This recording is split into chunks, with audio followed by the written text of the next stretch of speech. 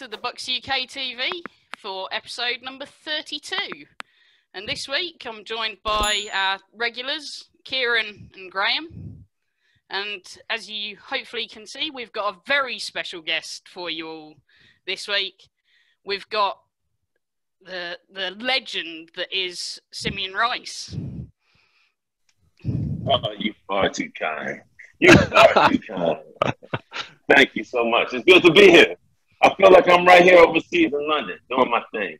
What's up? It's, it's great to have you here.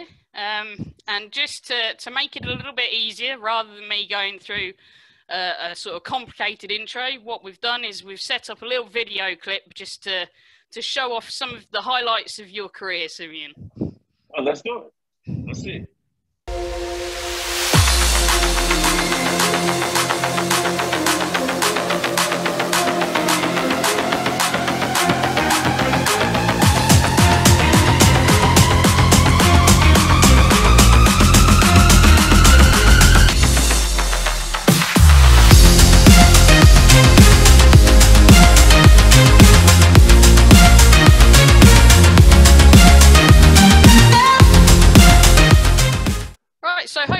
Should give you a, a great introduction to the legend, as I say, that it is Simeon Rice. Um, but we've we've got a few questions for you, so I'll I'll start. And really, we're looking for just knowing a little bit more about you. Obviously, going right back to start with, like how and sort of when did you really sort of realize that you had the talent for playing the defensive end position? When did you really sort of realize that you could be as good as you are and that you could make it in the nfl i guess? Well I, have I've never been short of too much uh, what we would say confidence. I've, I've always been a very confident player. Uh, I, I started out first playing running back so I first started out, wanting to be like the legend of Walter Payton. I grew up in Chicago, watching Chicago football, watching the 85 Bears win. And, and that kind of ignited me, watching football early as a kid. So I knew I wanted to be a part of the sport, and I love the sport. I love the concept. I loved it. I slept, breathed it, ate it. Everything I, I did was to, to help me become the player that I was going to become. You know, I started off in many different sports, running track. I wrestled. I did all these things, and up until I started playing like Pop Warner, we have Pop Warner football here that you start playing in your youth, like seventh and sixth, seventh grade, eighth grade. I started playing. Then I got recruited out of there, and I went to Mount Carmel High School. And and our high school was it was a different high school because my school I played with a guy named Donovan McNabb. I don't know if you guys know him, but he played for the Eagles. And he was a big time quarterback. He was my young guy. We played with some guys that ultimately made it to the NFL. That being said, uh, my early desire to play the position of of, of defensive end started in college playing rush linebacker. I, I, came to college as kind of like an athlete. I was playing every position that first two weeks. Coaches was arguing about what position I want was going to play. Then they just asked me like, "What do you want to play?" And I said, I kind of like this rush linebacker thing. And I, I knew they get you got the quarterback was similar to like what Lawrence Taylor did with the Giants. And I was like, I kind of want to do that, you know. And I had a little success on that in high school, so they recruited me my my last year in high school as a, as a defensive lineman. So I kind of migrated myself out there outside linebacker. Had a lot of success, rookie of the year, All American in college.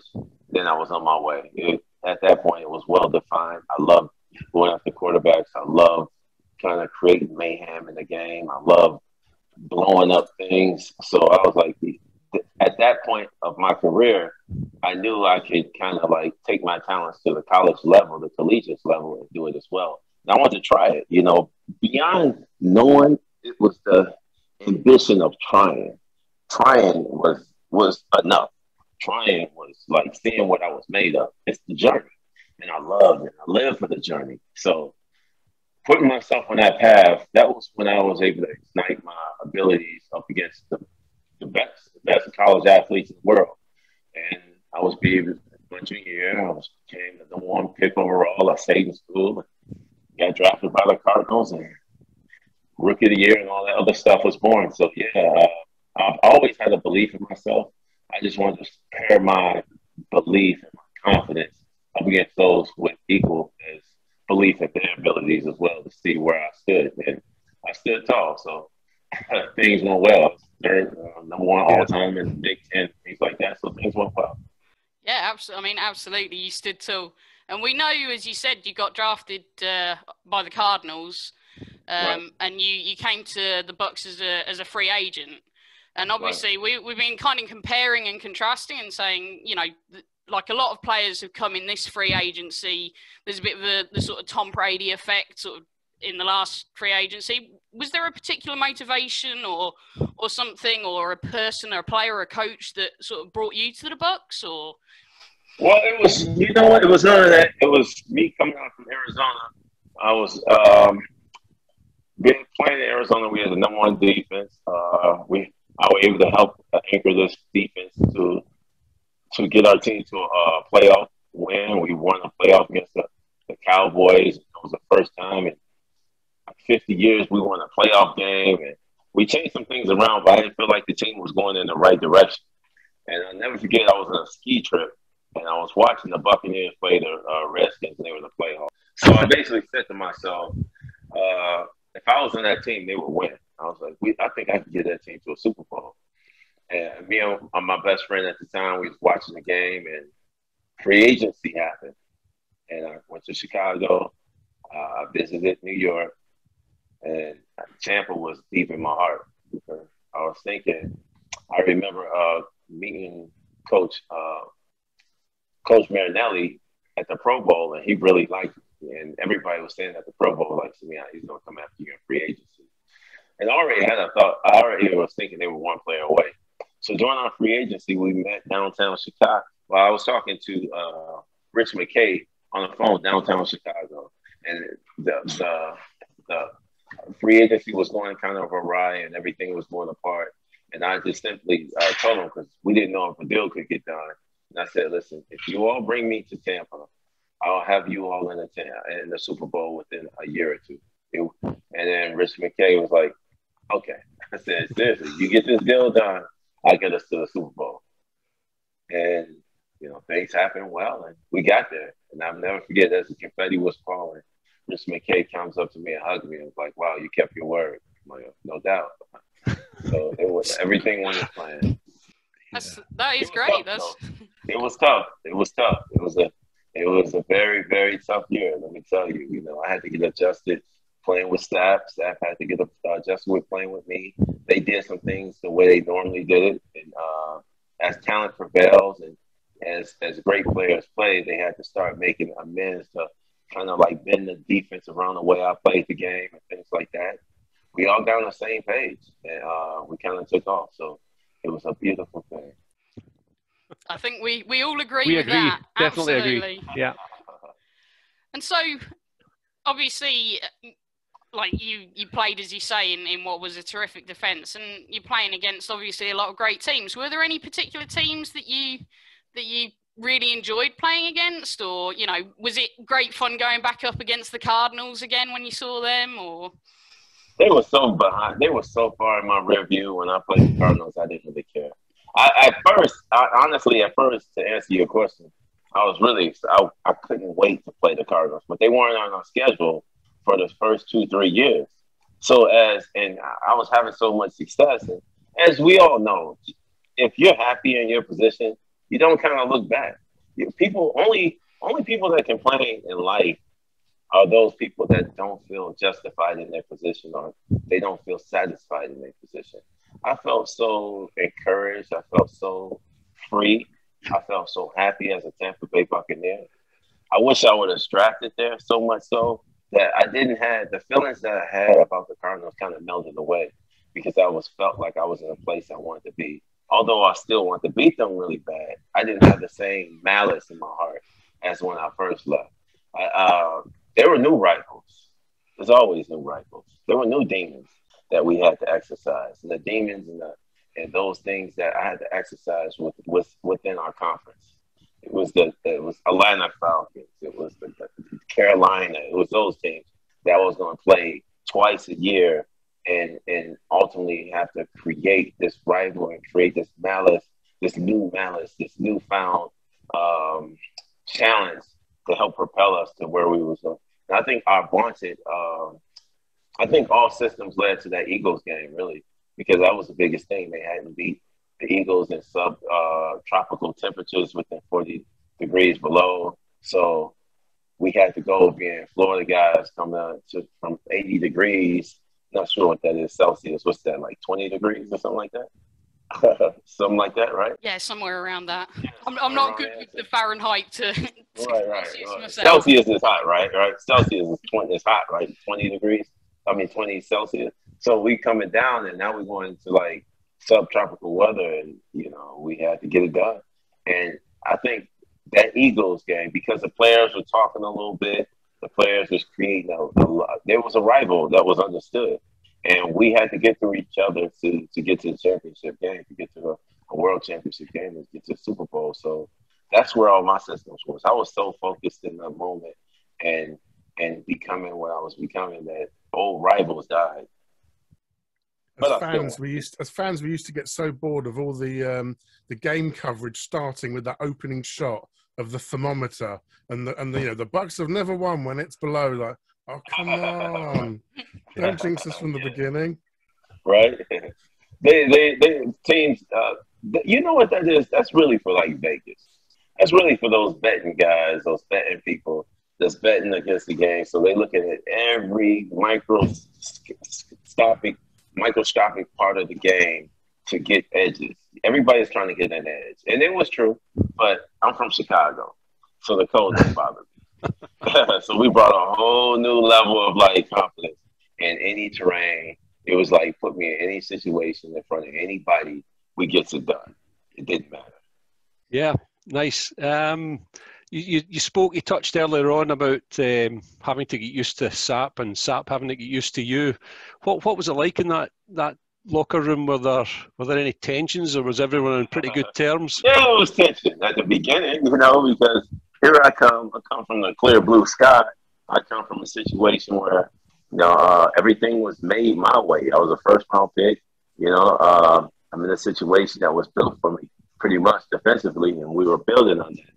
Now I'm coming into a situation that was that was more customized for a three technique. You know, the Tampa two was built upon a three technique, having uh, the defensive tackle kind of like slander the offense and blow things up and make things, make big plays, get the big sacks.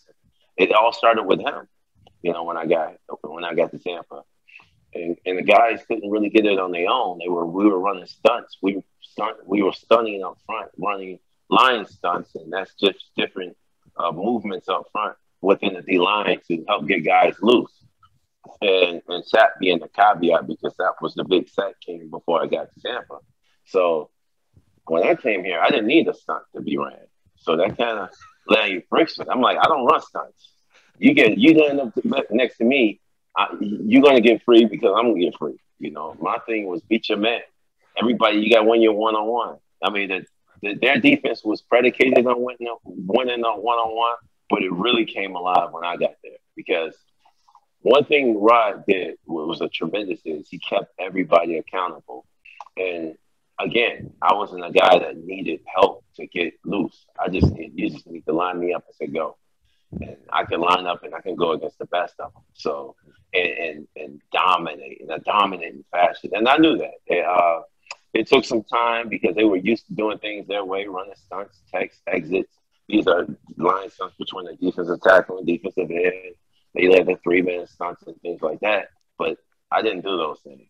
You know, uh, at first it caused tension, but then when we start having a lot of success, a lot, and I mean a lot of success, it be sat kind of like, okay, this is the direction we're going in.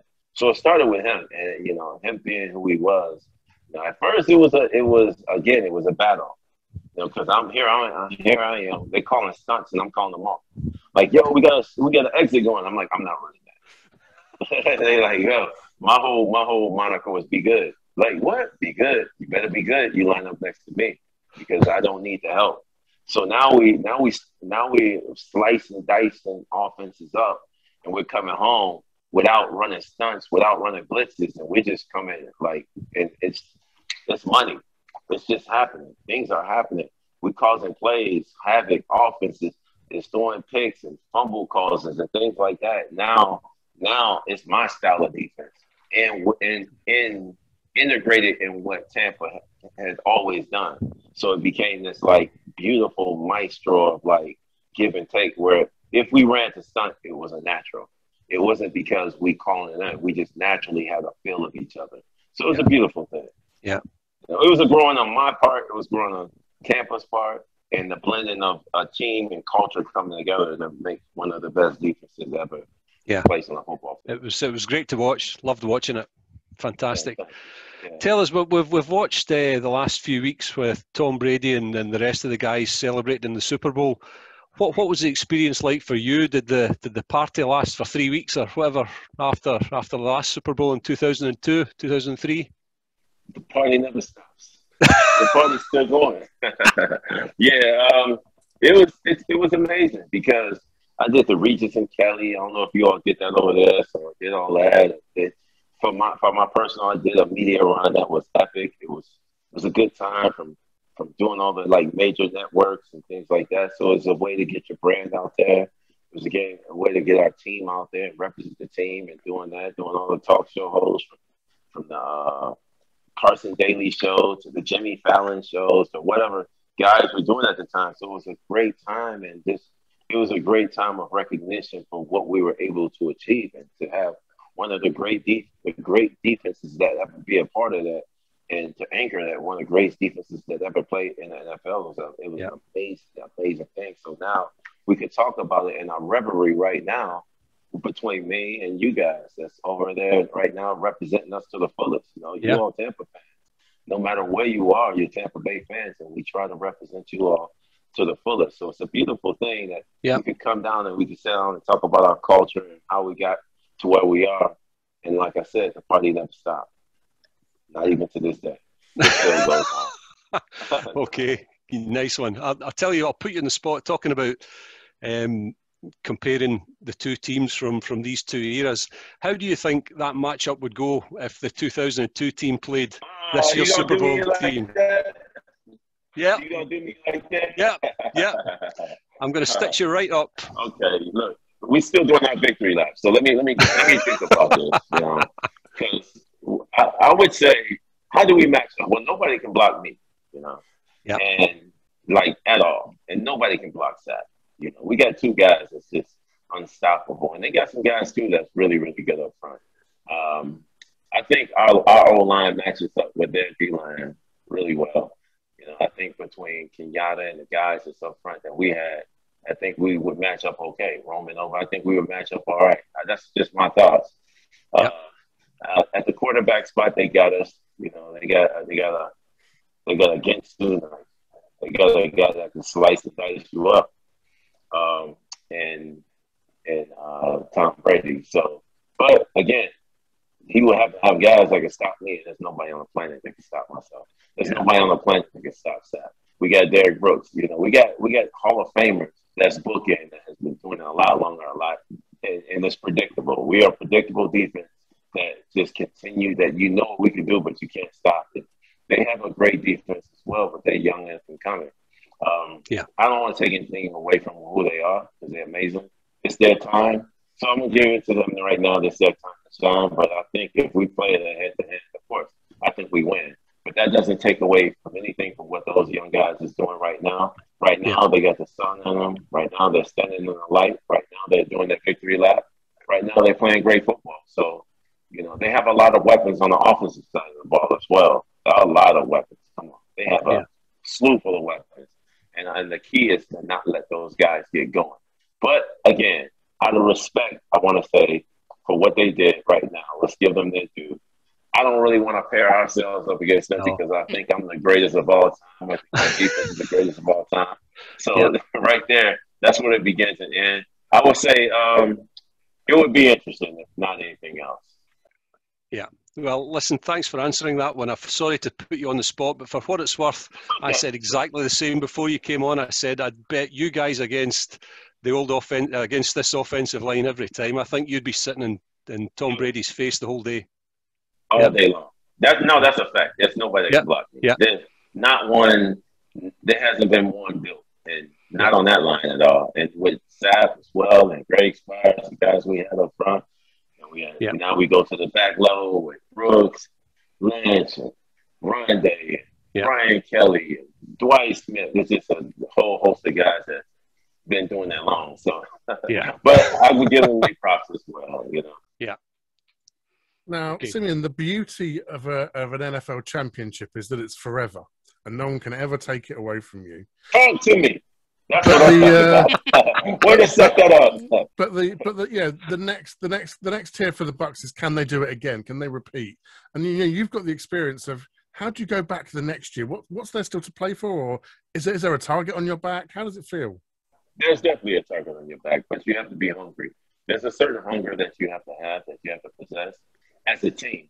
Now you can have that as a player, but as a team, it doesn't. It doesn't matter if you have a player as a player if the team isn't involved. I mean, to be able to have that level of success and uh, to be able to emulate that success the following year, you have to have the pieces in place that think on that level, that specter, that dream, that believe, that have that level of imagination. And they do. They have it with the quarterback. It starts with uh, Tom Brady.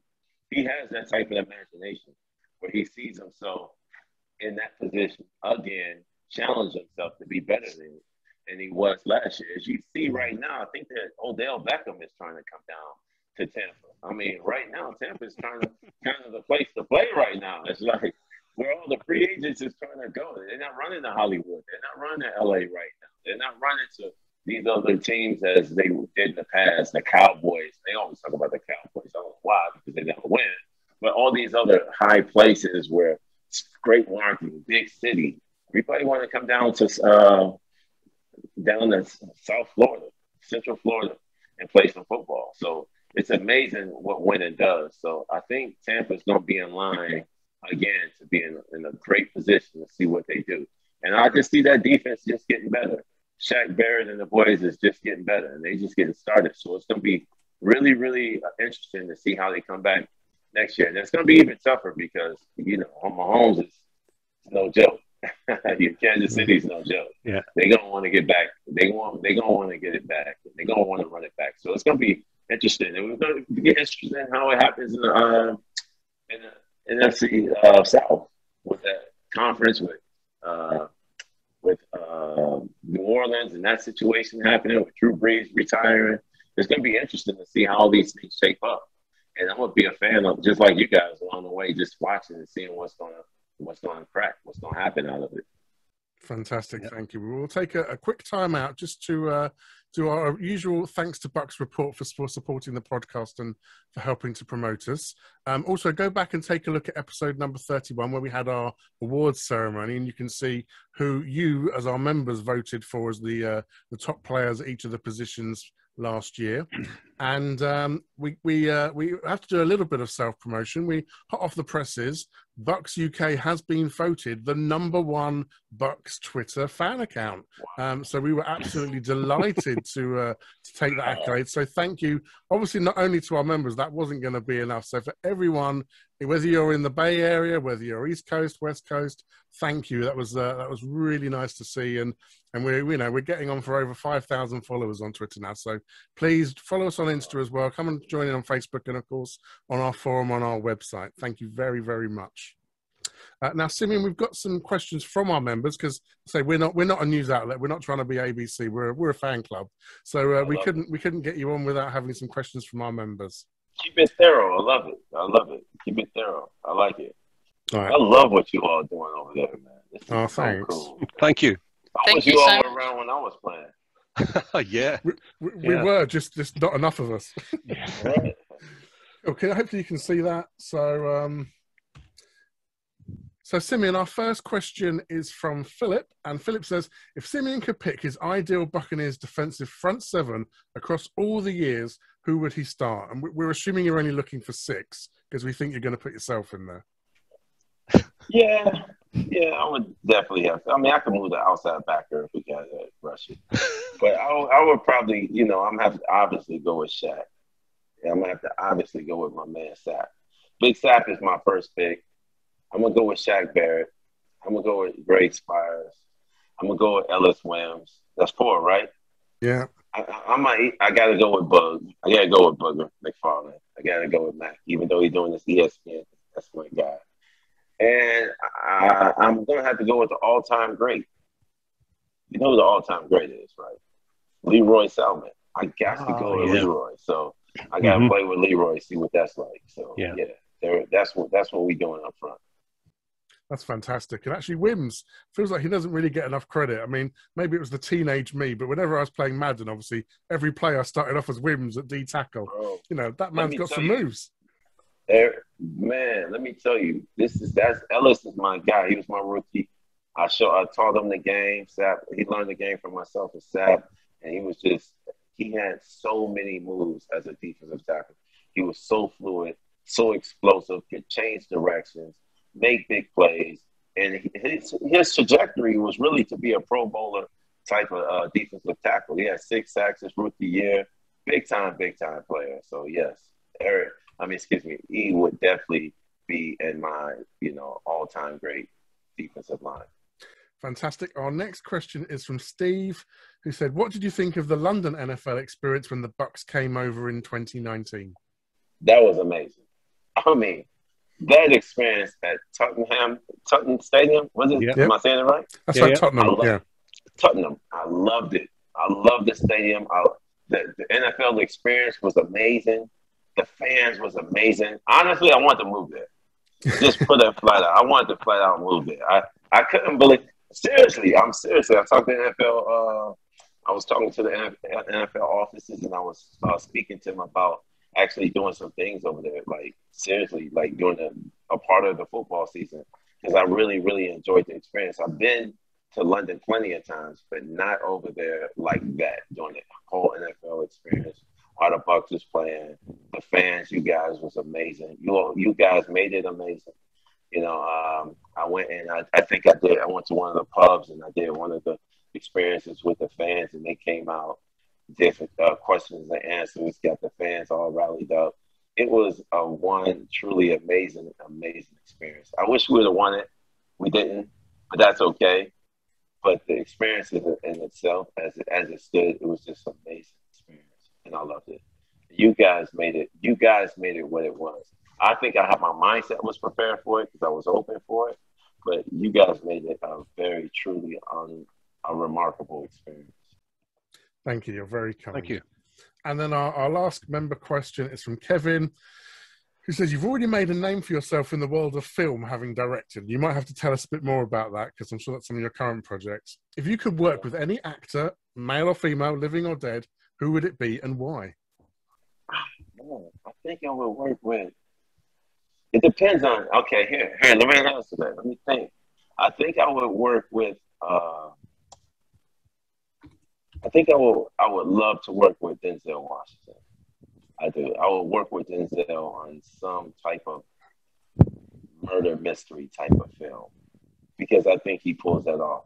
Where he is ultimately the antagonist, you know, where he's playing like a bad guy, but he's participating as if he was a good guy.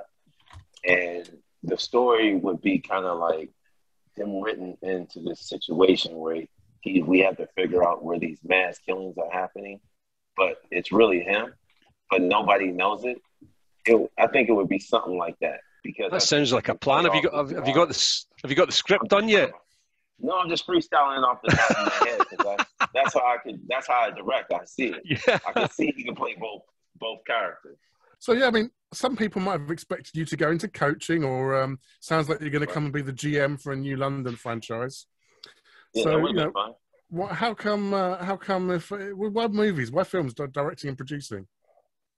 You know, I actually did a film. I want you all to check it out. It's it's, it's a film that sucks, but ah. I still I, I, was in it. It was uh, at least I think I it sucked. But I I looked at my performance and I was like, this I actually acted in this one. Now the film I directed, I loved it. I wrote it. That was if you haven't never checked it out, check it out. That's that's unsullied. That's amazing. I think that's a good film. That was the one I wrote, directed, produced. But this film I was in called, it just came out. And it's called, what is that called? It's called Witness Unprotected. my cousin called me and said, Simeon, you was great in this movie. I'm like, what movie? Because I never told anybody I did this film. Mm. And I didn't know it came out. And he's like, he's like, I said, what movie? He goes, and this movie called Witness Unprotected. I'm like, I never played no movie called Witness Unprotected. Keep in mind when I did the film, I didn't even have a title for it. So I check it out. It's on Amazon. and I'm watching Amazon and I'm like, oh my God. so I'm, I'm, he tells me, he's like, yo, you play a cop. I'm like, I didn't play a cop. In my head, I'm thinking, I play this. I play. I play a detective. So I'm like, how did he know this? So I go to the film. I check it out on Amazon. I look at my part. I'm like, hmm. And keep in mind when you are watching this, if you watch it, I don't even know the lines to it. They feed me the lines off off cameras because I was just learned. I just learned the script like that day, and that was like my first acting gig, and that's nothing I ever dreamed of. I really, really love directing. I love it.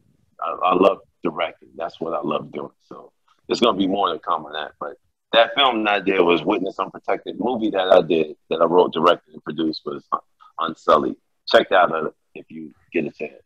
Yep. It's going. It's on any other platform. Well, when you're coming over for the uh, the big premieres at Leicester Square in London, you let us know, and we'll come and we'll come and cheer. And you can do the you can do a you can do a Tom Cruise and come and have selfies with us. No, we'll, we'll definitely do that. Why not? I'd just like to really thank you, Simeon, for joining us today. I mean, we're absolutely honoured to have you know, as you say, um, the the best unblockable defensive end that the Buccaneers have had. So, you know, it's been great having you. Have you got anything else that you, you kind of want to just say to us or to, to the other members? Anything, any final um, thoughts you'd leave, leave us with? First of all, I like how you guys all rocked up with the uh, Tampa Bay Buccaneers uh, memorabilia everywhere. That's a, that's really cool. It's amazing to see the reach of the Tampa Bay Buccaneers and the fan support that's everywhere. You guys make this what it's supposed to be, being the number one podcast for Tampa uh, for the Buccaneers. Obviously, it, it, goes without saying because you guys support makes it as such. So I feel the love. I'm sorry that we didn't get a chance to meet before. You know, I think it was last week you you guys hit me up. We missed each other, uh, but we're doing it now, and that's amazing.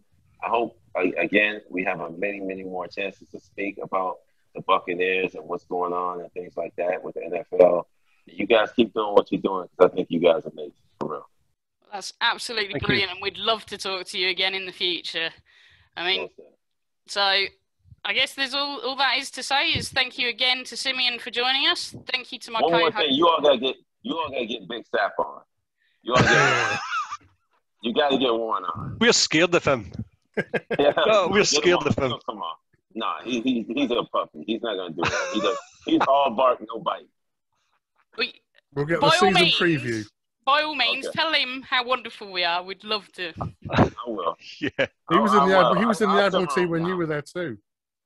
Yeah, yeah, he was there. That's my guy. That's me and him like brothers. But he's all bark, no bite. I'm, I'm, the, I'm, I'm really what we consider to be the no nonsense guy. One is really a big lovable dude. Just all bark, no bite. Don't, don't even worry about him, man. I'm he not convinced. Going off on his tangent. Trust not me, convinced. Go off on his tangent, trust me. I'm, I'm telling you, as brother to brother, family to family, we Buccaneers family, he all talk. He all bark. He just annoying with that. Trust me. Play this clip. Show this clip to him. He'll be like, all right, Sam, all right. Trust me. Get him on. He's going to be fine. He's great. You all going to be great. He's going to be able to give you all some great stories. There you go. That's the uh, that's the trailer then for this episode. We'll tag Warren in it. Challenge yeah, extended. Tag, tag, tag my man Warren. He got to be next. Awesome. All right. So, once again, I'd just like to thank you again, Simeon, for joining us. Thank my co hosts tonight, Kieron and Graeme. Don't forget to like, subscribe, and click the bell to receive notifications. And don't forget to join us at bucsuk.org. Come and join us on the forum. There's plenty going on, lots of chat and discussions, particularly about the free agency. And we'll see you all for the next episode, which will be episode 33.